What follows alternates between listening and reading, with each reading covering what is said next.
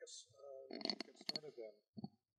Uh, I'm uh, uh, John Wallach. I have a, uh, a blurb that's longer than I expected in the welcoming remarks, but uh, the, the main attraction, of course, is Professor Roxanne Euben. It gives me great pleasure and it's a distinct honor, as they say in the House of Representatives, to introduce Professor Roxanne Euben to talk tonight on the subject of gender, humiliation, and radical Islamic rhetoric, Orientalist lineage, neoconservative conceit, Islamist trope, navigating the nexus. Dr. Euben is the Ralph Emerson. This is the Ralph Emerson? Ralph, yeah. Ralph Emerson and Ralph Emerson. You know, uh, at Hunter we have Ralph Emerson's words emblazoned on the North Building, right? So we have, we are honored by his legacy. Uh, she's the Ralph Emerson and Alice Freeman Palmer Professor of Political Science at Wellesley College. She grew up uh, and received her early education through high school in Santa Cruz, California, but she had New York genes. G E N E S. California has the market on J E A N S. Euben's special area of specialization bridges what's often called Western political theory, particularly modern and contemporary European thought, and Islamic political thought, with an emphasis on 18th to 21st century thinkers. uh, her scholarship has variously taken up topics such as Muslim cosmopolitanism, jihad, martyrdom, and political action, travel narratives, including the Arab, Arabic genre of the Rihla, and political theorizing, commonalities between Muslim and European perspectives on science and reason, and comparative political theory, among others. Indeed, she is one of the founding figures, if that's the right term, of the um, field of comparative political theory in the United States. And this is a new uh, genre of, of thinking. Uh, political theory has either been understood in the United States as something that works uh, backward through the Western canon or analytically in terms of some conception of reason, but not comparatively. And she has been a pioneer in uh, developing this new area of thinking. She began this uh, in terms of her publications with the, uh, the work Enemy in the Mirror Islam, Islamic Fundamentalism and the Limits of Modern Rationalism, a work of comparative political theory that was published in 1999 by Princeton. Journeys to the Other Shore Muslim and Western Travelers in Search of Knowledge, also published by Princeton in 2006, and Princeton Readings in Islamic Islamist Thought, Text and Context from Al-Banna to Bin Laden, written and edited with Muhammad Qasim Zaman. And I wanted to bring her books here, but they're all checked out.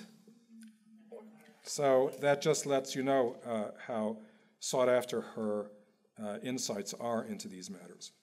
Her current research is on Islamist rhetorics of humiliation in comparative uh, perspective, uh, a project for which she was awarded a Guggenheim Fellowship this year. And for those who were silly enough to think that they should stay home and watch TV about the consequences of the Trump election and uh, not come here, they will find that they have missed a great deal because of the way in which uh, Professor Euben engages in comparative political analysis. This lecture is presented by the New York Area Political Theory Faculty Seminar and supported by the Roosevelt House uh, Public Policy Institute and the Departments of Political Science, Women and Gender Studies, the program in religion at Hunter College with substantial additional funding from the Hunter College Office of the Provost and the Dean of Arts and, Science, and Sciences. She will, uh, Professor Euben is sitting in the front here. Uh, she, uh, you can see there's a match. We did uh, an ID match before she came in. Uh, and uh, she will talk for about 45 minutes, maybe a little bit over, and then there will be questions and answers. And then you are most welcome to attend a reception afterwards in this lovely setting. And so, without further ado, may I introduce to you Professor Roxanne Euben.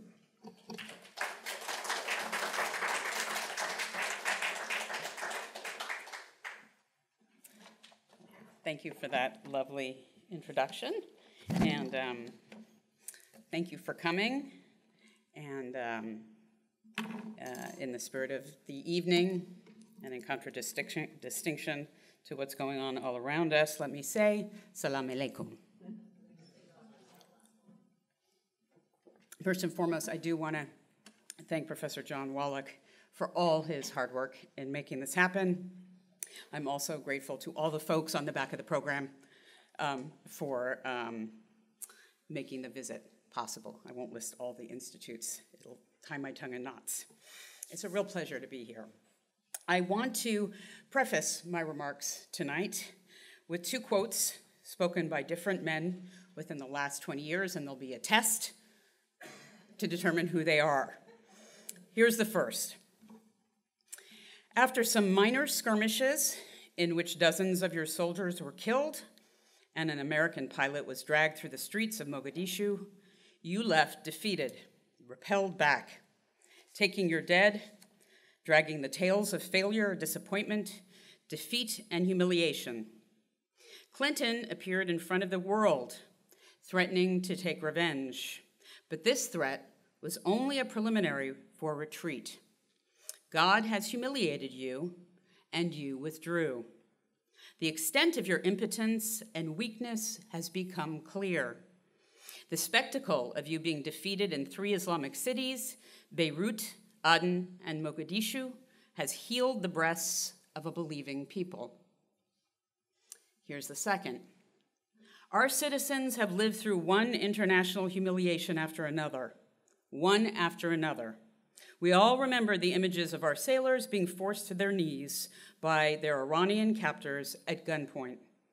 Another humiliation came when President Obama drew a red line in Syria, and the whole world knew it meant absolutely nothing. In Libya, our consulate, the symbol of American prestige around the globe, was brought down in flames. This is the legacy of Hillary Clinton death, destruction, terrorism, and weakness. Americanism, not globalism, will be our credo. As long as we are led by politicians who will not put America first, then we can be assured that other nations will not treat America with respect, the respect that we deserve. This also requires defeating the barbarians of ISIS. And we are going to defeat them bad. We're going to win, and we're going to win fast. It's time to show the whole world that America is back, bigger and better and stronger than ever before. Who's the source of the second quote? It's obvious, right? It's from Donald Trump's acceptance speech at the Republican National Convention in July of this year, which probably seems a million years ago.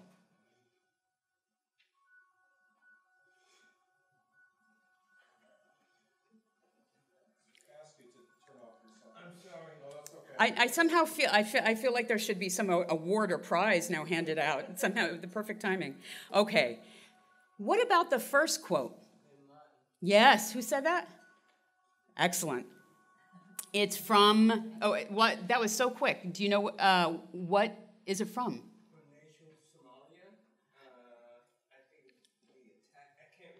No, that's fine. No, I was so impressed. I just figured why not go with it. Um, it's actually from his 1996 declaration of war against the Americans occupying the land of the two holy places. And by the way, I just want to note that the final, um, the final uh, phrase from the excerpt is from the Quran. It's um, from 914, quote, fight them, and God shall punish them at your hands and disgrace them and bring you victory over them and heal the breasts of a believing people. Now, aside from the fact that they both came from enormous wealth, it's difficult to imagine two men who have less in common. And these quotes are addressed to very different audiences and serve distinct purposes.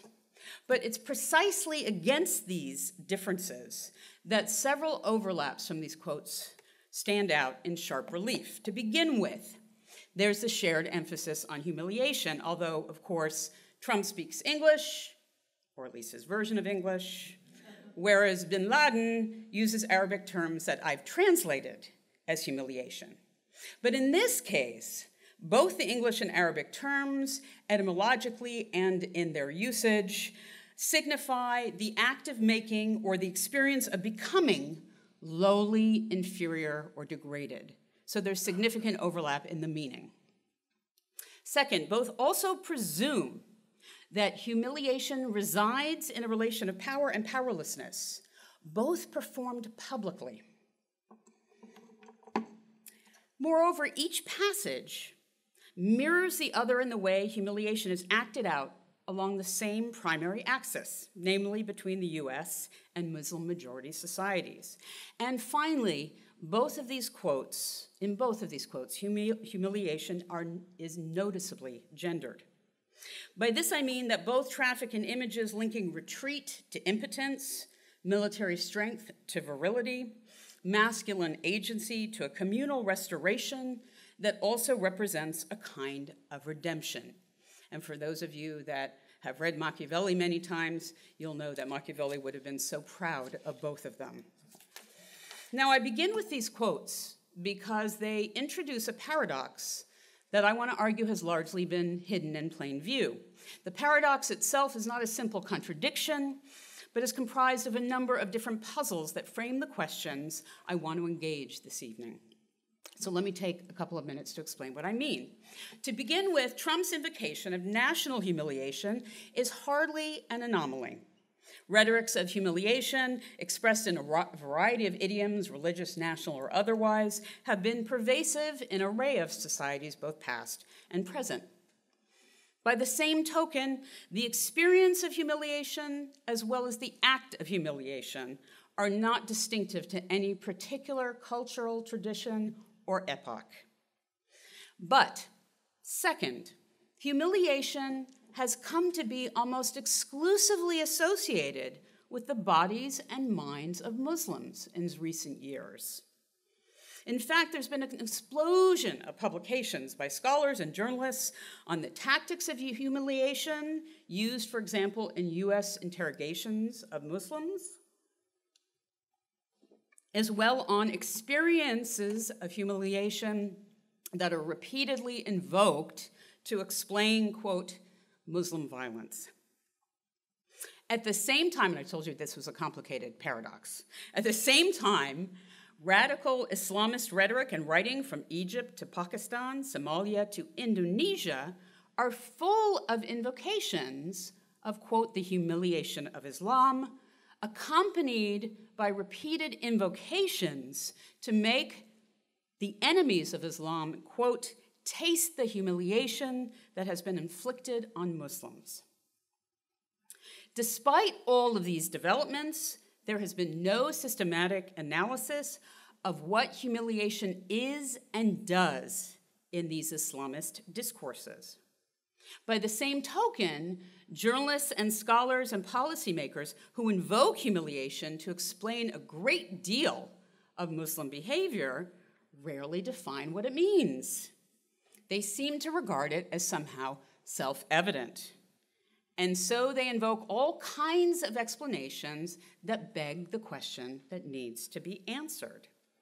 Or we get explanations where humiliation is invoked as a synonym for all sorts of other emotions that are quite different, like shame, fury, or frustration. Now, there are a lot of angles to this paradox, so I'd like to translate its complexity into a series of questions in an attempt to capture its political as well as intellectual stakes. First, what's the content and significance of humiliation in radical Islamist discourse? Second, and relatedly, what does analysis of Islamist invocations of humiliation as a rhetorical practice as a rhetorical practice. What does analysis of it as a rhetorical practice reveal, not only about its meaning, but also how it works? And I'll explain what that means in a moment. Third, I want to shift perspectives from trying to make sense of what this discourse means and how the rhetorical practices that Islamists invoke work to ask does analysis of the gendered aspects of this discourse on humiliation simply confirm the worst Orientalist and neoconservative stereotypes about Muslim masculinity? And could it possibly do anything else? That's a very important question. And this leads to the fourth and final question. Given the current political and geopolitical climate, what are the risks of even asking these questions? Conversely, what's lost by not asking them? Given our time constraints, my answers will have to be provisional rather than exhaustive, but I'm hoping they'll spark the opportunity for more conversation among us all during the Q&A. So let me turn to my first purpose, although I'd like to go in the reverse direction of how these things usually go. In other words, I'd like to start with the definition of humiliation that, um, that is yielded by analysis of the uh, Islamist discourse and then work backwards. So to cut to the chase, you'll be grateful for this, truly. to cut to the chase, in this discourse, the humiliation of Islam is defined as the imposition of impotence. And I, I, that's a gendered term, and I mean it. Okay. It's defined as the imposition of impotence on Muslims and Islam by those with greater and undeserved power. Should I repeat it? I don't use PowerPoint. I still have typewriters. so I'll just repeat it. Um, that's why I have a lot of water. Um, so, the humiliation of Islam in this discourse is defined as the imposition of impotence on Muslims and Islam by those with greater and undeserved power. The discourse also defines retaliatory humiliation as an inversion of that very relation. In other words, it means imposing impotence on one's humiliator. Okay. Now, backwards because these definitions of humiliation and retaliatory humiliation aren't elaborated by any single thinker or located in any single text, which, as a political theorist, makes it hard, right? We're used to reading, you know, single text really, really closely. Um, this, uh, these definitions are sort of emerged from analysis of disparate missives, interviews, pamphlets, videos, and documents that circulate in multiple ways in the conventional way by print, through the internet, through tape cassettes, right? Issued or authored by a range of thinkers and organizations. And it's a definition by indirection, by indirection rather than by explicit and systematic argument. And by that I mean that its features emerge from an assemblage of passages, like the one from bin Laden, images, invocations, anecdotes, and symbols, along with selective redeployments of fragments from the Quran and the Hadith. And I know many of you know this already, but for those who don't, the Hadith are the reports of the words and deeds of the Prophet Muhammad collected and recorded in the centuries following his death. Analysis of these often fragmentary, fragmentary sources clusters humiliation around three interrelated features. First, humiliation is repeatedly linked to an assault on the capacity of Muslim men to defend the Ummah Arabic for the Muslim community, to provide for their families, and to protect their women. And I'm going to provide examples of each of these features. But I have to say, even doing so, it's important to provide examples to sort of bring these alive, but there's a problem also with providing these examples because each example sort of takes things out of context and makes the argument sort of turn on one particular example. So I'm aware that it's important to do this at the same time that there's a problem doing it. Okay. So said.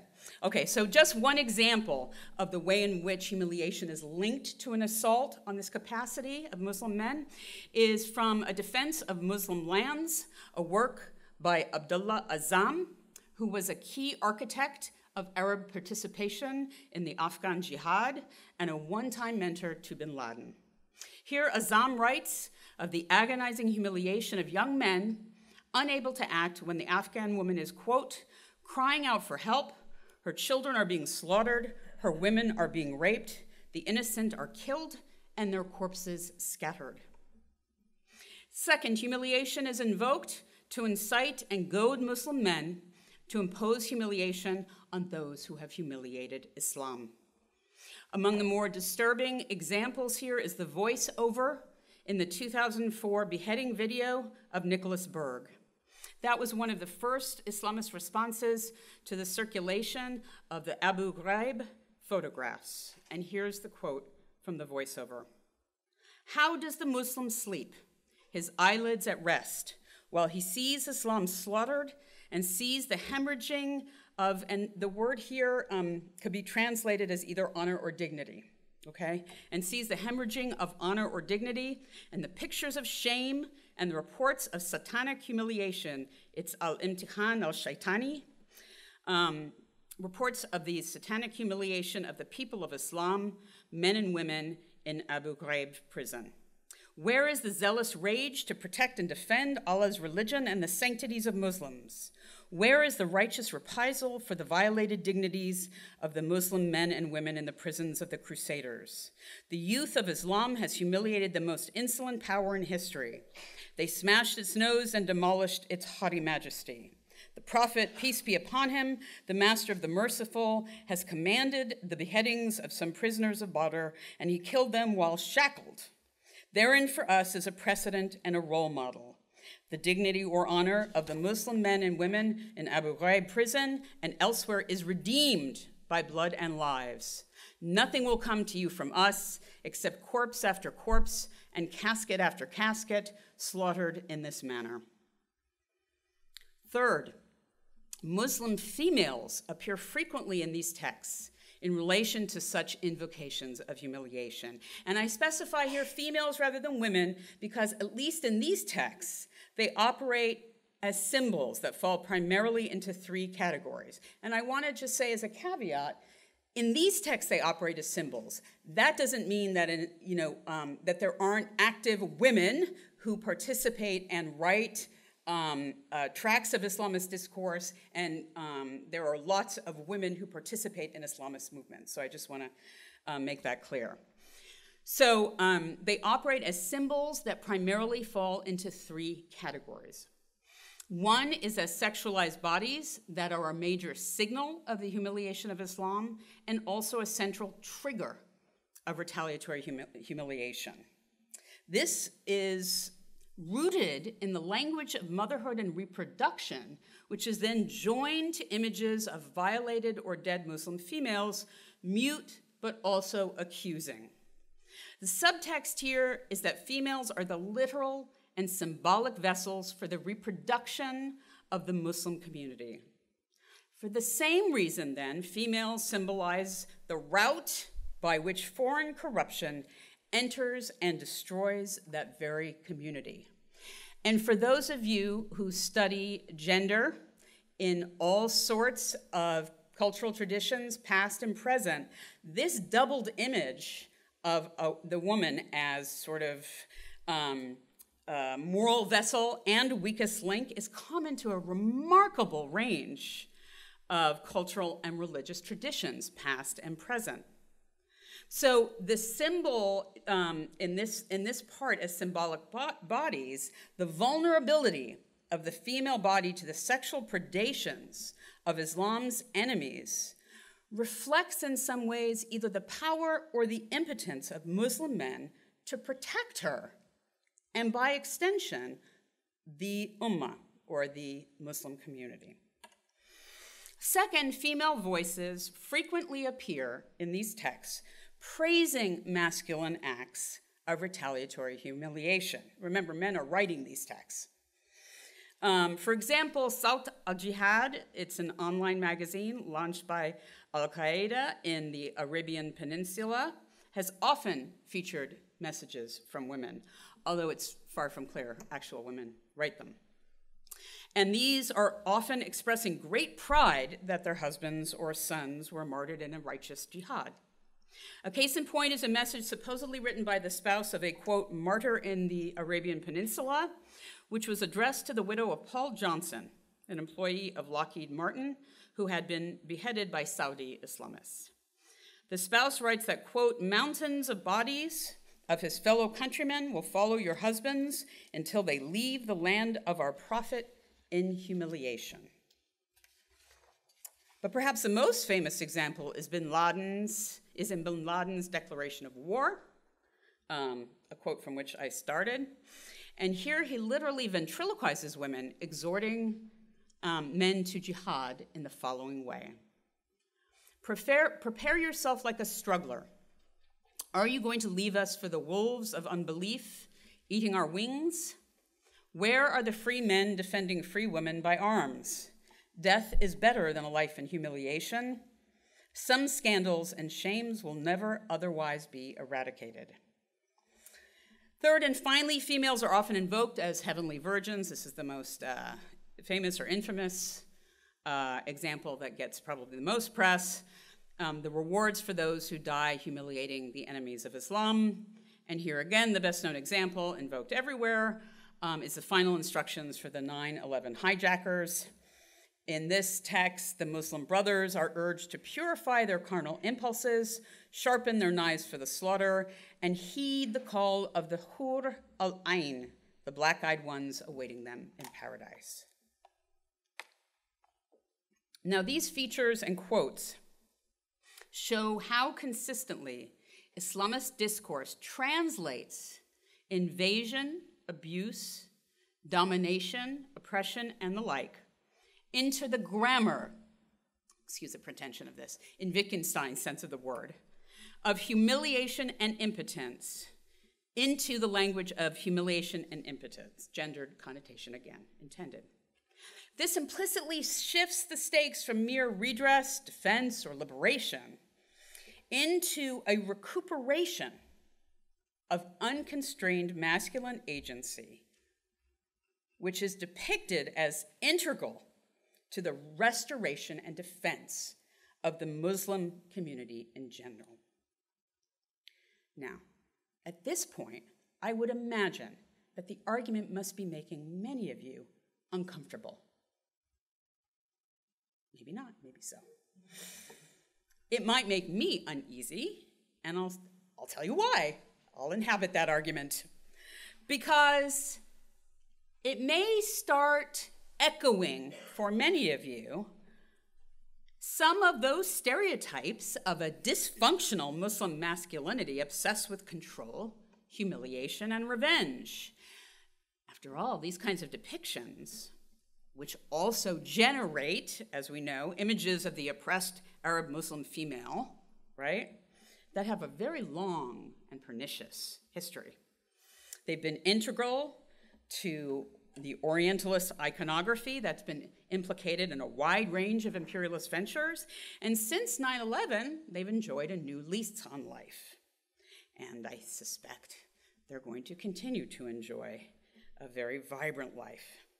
According to Seymour Hersh, in fact, they even became part of the neoconservatives' guidebook for interrogation tactics aimed at sexually humiliating Iraqi detainees. That was in the expose he wrote in The New Yorker. So, should any of you have those concerns, let me allay them. I want to emphasize that these excerpts aren't taken from diary entries or private letters. They're embedded in rhetorical acts addressed to specific audiences, and they're designed to evoke visceral responses that can be energized towards particular kinds of action. This isn't to say that these kinds of invocations are just words entirely unrelated or disconnected to the convictions of the writer or speaker.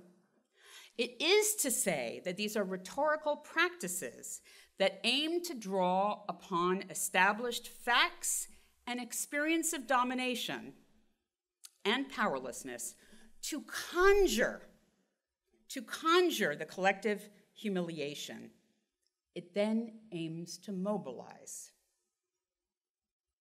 What this means is that my focus is on analyzing the meaning of humiliation articulated in Islamist discourse and to figure out how the rhetorical practices that constitute it work. But this doesn't depend upon how these practices actually work upon distinct and diverse audiences, right? It doesn't entail a claim about uptake and reception. Does that make sense? Okay. Now, the sources of actual powerlessness from colonialism to the present, I couldn't possibly do justice to. They're too complex and diverse. We can talk about all of them if you wish during the Q&A.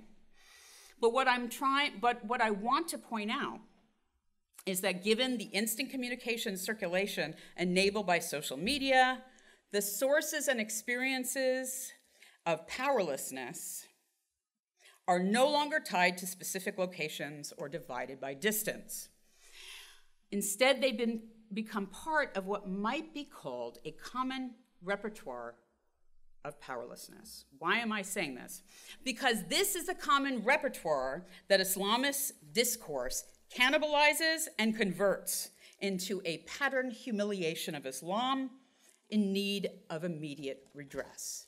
That is, this discourse really pulls upon actual experiences and facts of powerlessness, right? From colonialism to the and the experiences of, of, of Europeans drawing its own boundaries and creating nations to suit their own interests, right? And experiences created by the American invasion of Iraq all these kinds of experiences and reflections that impact different people in different ways that then become a series of experiences that are that become no longer located in particular places and become part of a common repertoire that Islamist discourse then picks upon, attaches to very specific images that, are, that become very powerful, right? And are assembled into a narrative that they then convert and translate into a narrative about the humiliation of Islam. It's the way rhetorical practices work and why they can operate really powerfully. They don't just pull things out of thin air that have no relation to the world.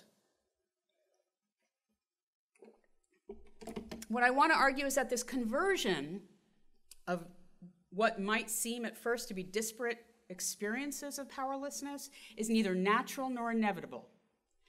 It involves the deployment of various kinds of rhetorical techniques, from poetry to violent images, inciting invective to emotive symbols and metaphors, and selective invocations from the Islamic tradition, particularly those that recount the bravery of the earliest generations of Muslim men or victories of the nascent Muslim community against much stronger enemies. Now, what's interesting is that Islamists generally claim to recuperate the authentic Islam from its various um, sources of corruption, right? All the decay and corruption that has happened to the real Islam over the centuries.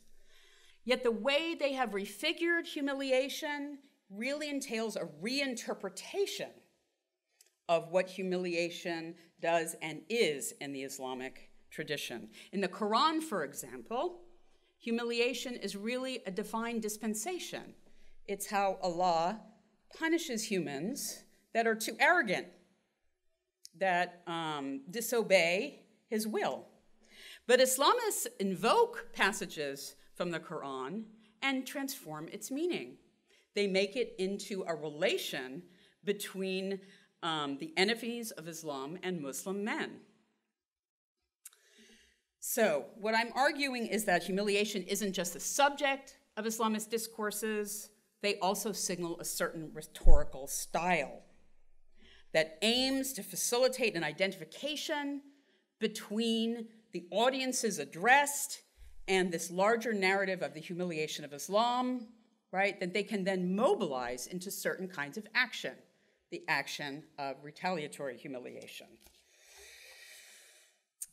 Islamists then promise the mujahideen that they wish to recruit or address.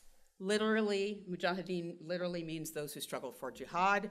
They promise those they address a restored sense of potency by imposing humiliation on those who have humiliated them and Islam, and depict such acts as integral to the survival of the Muslim community. Let me then turn to my next purpose and turn the perspective around. Because it seems to me, if it hasn't seemed to you, that these arguments seem to beg a critical question. Why should Islamists expect, say, images of vulnerability of Muslim females or hadith about the bravery of early Muslim men or references to the weakness of the Ummah to resonate with any contemporary Muslim men, let alone to goad them into these spectacular acts of retaliatory humiliation. And this is a really controversial move. The answer lies in what scholars sometimes refer to as normative masculinity, or at least that's what I want to suggest. This is the dominant conception of manhood that, quote, sets the standards for male demeanor. This is how normative masculinity is often defined. That sets the standards for male demeanor, thinking, and action, and that prevails in a particular time and place. I want to suggest that nor- the normative masculinity that still widely prevails is one where manhood is, of course, heterosexual. It's a given, but also defined in terms of the power to guide, guard, and provide for women and children. What I'm suggesting is one of the ways that this humiliation rhetoric works is to mobilize this dominant form of masculinity. So now maybe you're really uncomfortable. Yeah, yeah. Because we're back to the Orientalist and neoconservative stereotypes of an essential and dysfunctional um, Muslim and Arab masculinity, right? I knew I'd make you uncomfortable at some point. All right, so I've, I've accomplished my job here. My work is done. All right, let me try to reassure you again. How am I going to do this? Here's how I'm going to do this. Because I want to argue that this normative masculinity is far from distinctive to Muslim majority societies. Quite the contrary. Studies have shown that despite variation, this remains the dominant norm of masculinity across the, an array of societies, including, but not limited to, the one in which we are now sitting. Now, there are loads of caveats I have to skip in the interest of time. Caveats about, for example, the fact that there are loads of alternative and resistance masculinities, the fact that there's a huge gap between this normative masculinity and the varieties of lived experience, right? That this normative masculinity doesn't map onto the varieties of lived experience, right? The fact that these two gender norms do not, you know, masculine and feminine, do not actually exhaust the possibilities of gender. The fact that all masculinities are contingent constructed and so on. Well, I managed to go through the caveats anyway. So I want to suggest still that this normative masculinity is still quite powerful across, across a wide range of societies. At the same time, that I want to suggest that there is a historically contingent pattern in the work that rhetorics of humiliation do because of the still pervasive purchase of this normative masculinity, which is neither unique nor distinctive to any Muslim majority societies or to Islam, despite the fact that many neoconservatives make that argument. Okay? Am I doing better? I'm getting there. All right.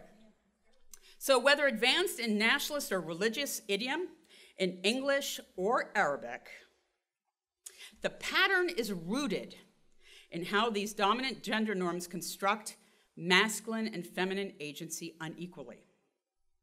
Where normative masculinity is defined in terms of the power to act as well as power over others, circumscribed agency remains essential to normative masculinity. Because we know that every conception of masculinity also generates a conception of femininity, even though that doesn't have anything to do with the way we live them, blah, blah, blah. Okay. Now, I've argued that humiliation signals imposed powerlessness, at least in Arabic and English. That's how I started, right? So, what does this all add up to?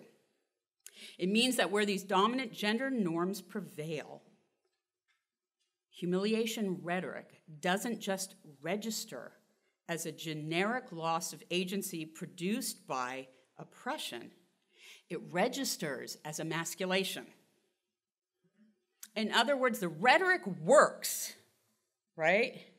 In the following way when humiliation is invoked, it works to signal not just the experience of powerlessness, but the experience of being unmanned, in fact, to be feminized. And that this rhetorical practice operates in this fashion, not just in Arabic, but in English not just in Muslim majority societies, but in American societies. In fact, in many societies. And I don't want to specify which ones because I haven't studied all of them. But I would, judging from some of the overviews of many of, of countries that I've seen, quite a lot. Okay. It's not a surprise then that humiliation rhetoric is often and widely invoked, and it can so effectively and viscerally energize the demand for a particularly muscular kind of retaliation from one side or another. And that's as clear as Trump's rhetoric as it is in the rhetoric of bin Laden. And this brings me to my, am I doing better now? Have I redeemed myself somewhat? Okay, that's okay. And this brings me to my final purpose that is, to consider the risks of pursuing these questions, along with what might be lost by ignoring them. And by risk here, I don't mean risk to my well being or safety, although my mother ha- might have something to say about that. Rather, I mean the risks entailed by making the argument I just made, right? Think about how often I step to the line of reinforcing the very, very things that I want to undermine, right? And in this particular political climate, the risks of being misread, particularly given the kind of argument I'm making, the risks of having my argument um, repurpose for opposite ends are really high. And I mean, think about pursuing these kinds of questions at a very particular moment in American inter- in international politics means that I really do court reinforcing the things I want to undermine, particularly in the wake of an election cycle already poisoned with intense anti Muslim animus and the bigotry that is now tearing across the country. Trump's election has only brought more hate crimes against Muslims, people of color, and members of other marginalized communities across the United States. And of course, the anti Muslim nativist turn in American politics is not anomalous. Internationally, we're witnessing what's been described as the most serious far right populist revolt in Europe since the 1930s. So one might well ask don't my arguments here just contribute to such animus by giving more attention to Muslims who give Islam a bad name and who already give, get too much attention from security agencies and the media? After all, numerically speaking, Islamists are perhaps the least reflective of what the over 1 billion Muslims today believe and how they live. Now, I raise these concerns not because I'm playing devil's advocate, but rather because they're my concerns too. No scholar, particularly today, but always, can pretend that they work in a vacuum. And given the current conditions, these are some of the real risks. I also think that any scholarship engaged with contemporary and controversial political matters always court the risk of being misread or of someone repurposing your arguments to opposing ends. At the same time, I would say that pretending that this discourse of Islamist humiliation doesn't exist won't make it go away. One could even argue that avoiding the subject abdicates responsibility for analyzing it, and that not analyzing it means that it becomes smoothly converted into more so called evidence of an, uh, quote, essentially patriarchal Islam that nurtures retrograde Muslim masculinities. And I'd argue that it's precisely because these pernicious views of Islam and Muslims have become so pervasive that it is critical to reveal it as a complex effect and product of power and history that has evident commonalities with rhetorics here in English that have nothing to do with Islam, rather than allow it to be continually represented as reflected as reflective of identities prior to power and history. That is, essential to Muslim identities outside of time. Does that make sense? Okay. I'm making, I'm going to make up a word here. I'm trying to make a de essentializing move here. And that this move, I want to argue, has made it possible to identify a broader pattern in the work that rhetorics of humiliation do. The broader pattern is itself grounded in a recognition that the dominant norm of masculinity mobilized by humiliation rhetoric retains a significant hold in the US. And this is despite the fact that many Americans turn to the language of individualism and rights when characterizing the communities in which they live. In other words, many Americans, including policymakers and even scholars, are often deeply invested in viewing the behavior of other Americans, acceptable Americans, in terms of individual motivations rather than gendered patterns. To see this point, just consider, I'm almost done, I promise. Consider the number of gun massacres in the United States in the last 30 years. All but one of these massacres were committed by men the majority of them white males, and quite a few of them were animated, animated by hostility towards women. Public analysis and commentary has largely avoided discussion of masculinity. Instead, we hear endless ruminations about mental instability, bullying, workplace rage, and misfit youth. And the language we hear suggests that the killers had no gender at all. By contrast, public analyses of Islamist violence or Muslim behavior towards women very quickly turns to the language of honor cultures, male domination, patriarchy, and women's oppression. It's very, very interesting. So, what kind of work does this pattern do? And here I'm being very deliberately provocative. I want to suggest that this pattern enables the erasure of the toxic combination of normative masculinity and humiliation in American violence. At the same time that it facilitates its displacement onto a range of racial, religious, or cultural others, those who have long served as repositories for all the anxieties and ugliness in America we'd prefer not to face. Thanks a lot for your patience. Thank you.